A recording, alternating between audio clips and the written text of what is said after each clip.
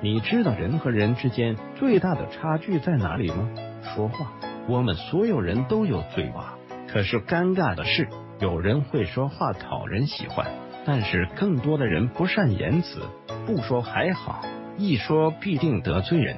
人生在世，我们一定要注意说话的技巧，掌握沟通的艺术，否则很容易落人口舌，让自己陷入尴尬的境地。那么今天我们就来讲讲鬼谷子的四个说话技巧，助你一臂之力。一说话要总看关系，外亲而内疏者说内，内亲而外疏者说外。人与人的关系分为亲疏两种关系，啥意思呢？根据关系说不同的话，比如关系没到位，说话就要谨慎一些，不能乱开玩笑；但是关系到位了，就不能太谨慎。否则反而见外了。所以鬼谷子教我们要学会根据亲疏关系使用说内还是说外的不同方法。人的亲疏关系决定了事情发展的走向和结果。通俗的说，就交浅言浅，交深言深。我们在说话时与人沟通，一定要先看关系再说话。二，不要强人所难，无以人之所不欲而强之于人。人是一种喜欢自以为是的动物，总是觉得自己是对的，别人是错的。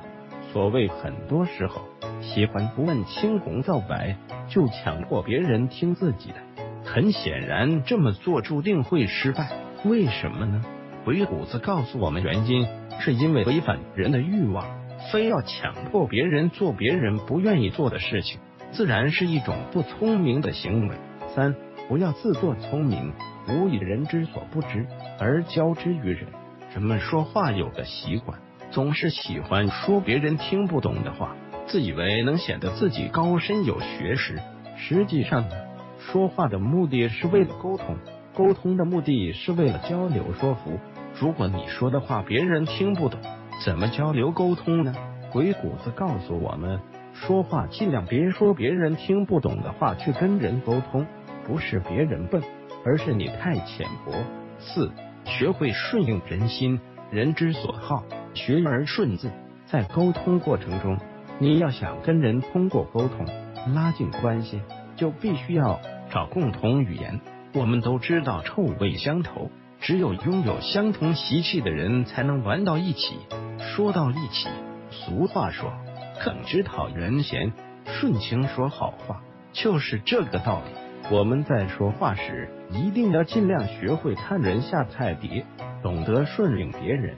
记住，千万别争，争只会产生离心力，而顺才会产生向心力。这四个说话技巧，是我们在日常生活中经常会遇到的问题。就如鬼谷子用七个字概述：因道而阳，取之也；投之所好，相异则亲。隐而不露是鬼谷子的典型思维。学会这四个方法，相信能让我们学会交流，合理的与人相处，可以少吃很多亏。学习更多国学鬼谷子智慧，敬请关注鬼谷子智囊团微信公众号，我们一起纵横捭阖，鬼谷论道。